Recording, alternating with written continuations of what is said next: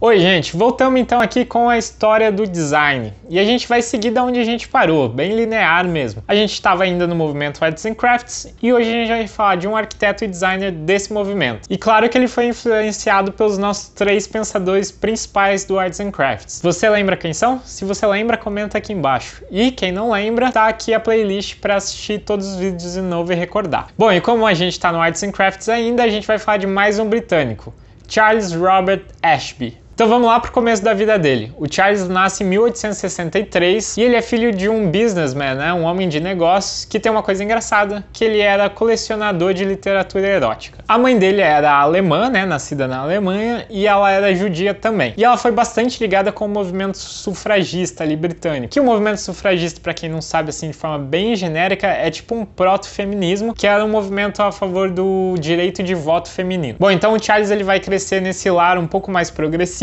e ele vai estudar em Cambridge. Em Cambridge ele vai estudar na King College e ele vai estudar história ali. E em paralelo ele vai estudar com o arquiteto George Frederick Bodley. Isso aí vai ser de 1883 até 1886. Terminando esses estudos ele vai se mudar para Londres. O Charles ele chega em Londres então em 1888 e ele vai ser residente da Tony Hall. Essa é uma fundação, uma instituição que ela vai tentar combater a pobreza e aproximar os ricos e os pobres fisicamente. Então, tipo, ele vai morar lá nesse lugar como residente e ele vai estar tá dando mais oportunidade às pessoas. Ele é então residente dessa instituição e ali ele vai começar a idealizar uma espécie de escola e espaço de trabalho que vai buscar os anseios lá do Arts and Crafts, que é reconectar os artesãos com o prazer dessa execução manual e do desenvolvimento do trabalho, e também do aperfeiçoamento das técnicas e por consequência da linguagem dos produtos. Esse empreendimento dele chama Guild Guild and School of Handcraft. Então esse espaço ele vai acontecer ali em Londres, né? E ele vai trazer, reunir artesãos e pessoas interessadas e ali nesse espaço eles vão poder trocar técnicas, se aperfeiçoar. Eles vão também poder trocar essas discussões sobre se reconectar com o trabalho manual, com esse prazer de executar as coisas e ao mesmo tempo eles vão avançar no desenvolvimento da linguagem dos produtos. Aqui cada artesão vai desenhar, projetar o próprio produto. Essa espécie de ateliê, escola, ela vai durar até 1902 em Londres e depois ela vai acabar se mudando para o interior. Nesse período, Charles vai iniciar os projetos dele em design. São quatro anos só de duração, mas vão ser quatro anos muito importantes para o Charles desenvolver uma linguagem própria de projeto. Esse espaço ele vai acabar se especializando no trabalho com metal, né, com fazer ali uma espécie de serralheria, de joalheria. Então, por conta disso, a gente vai ver que o trabalho do Charles vai acabar se voltando mais para essa linguagem do material metal. E também a gente pode dizer que tem um sucesso aqui, porque uh,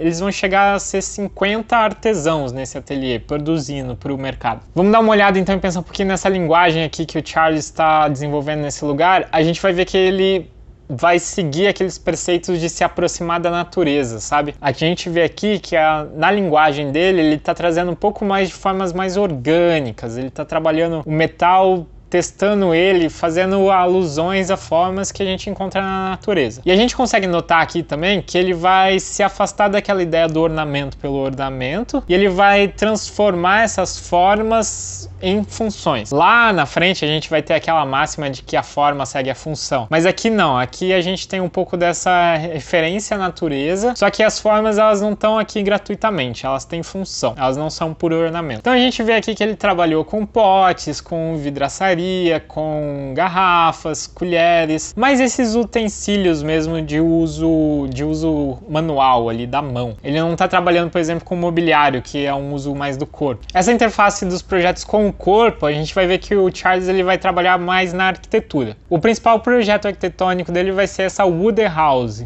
que vai ser uma escola de música militar em algum momento. Além disso, ele faz alguns projetos na Sicília e ele também trabalha bastante prédios em Londres, que era onde ele estava morando, e em Budapeste. E assim como seus contemporâneos, ele vai ter também um trabalho teórico desenvolvido, né, que estava na época da imprensa, dessa grande grande explosão dessa imprensa de massa. Então ele vai também fazer um trabalho teórico para acesso e distribuição, onde ele vai discutir bastante arquitetura. Então ele vai ter uma catalogação de casas de Londres, ele vai fazer uma catalogação de como estava sendo feitos os projetos arquitetônicos de Jerusalém. Ele também vai fazer uma catalogação dos utensílios de prata, principalmente do que ele fazia, né? E mais alguns livros discutindo arquitetura. Como a maioria dos integrantes do Arts and Crafts, ele era um que a gente diria hoje progressista, né? Ele era ali ligado com William Morris, com o movimento socialista inglês. Desde a criação dele, né, a mãe dele já é ligada com o movimento sufragista e ele vai ter bastante dessa desse posicionamento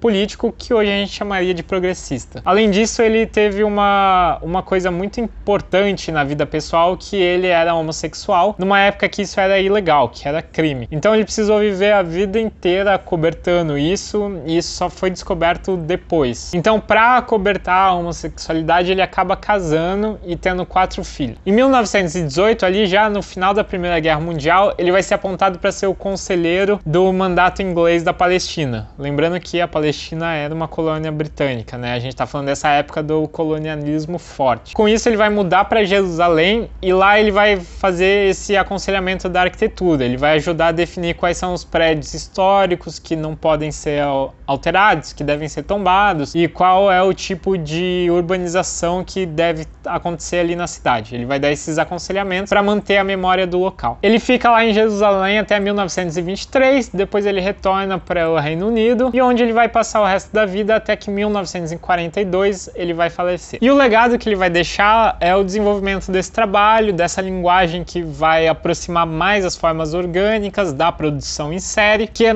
daqui a pouco a gente vai chegar do Art Nouveau e aí a gente vai ver que tem bastante semelhança no que o Charles está fazendo aqui e o que o Art Nouveau vai fazer lá na França. Além disso, ele vai deixar aquelas teorias arquitetônicas, principalmente aquela catalogação de casas britânicas, da arquitetura britânica, e um pouco dessa urbanização ali de Jerusalém dessa época. E esse foi o vídeo sobre o Charles Robert Ashby. Me diz aqui o que, vocês acharam do trabalho dele. Se vocês gostaram, curte, compartilha. Se inscreve aqui no canal se não for inscrito. Me segue lá no Instagram para ver quando vai ter mais vídeo e outros temas. E a gente está quase acabando esse primeiro movimento do design que é o Arts and Crafts. Então logo a gente se vê por aqui com mais vídeo.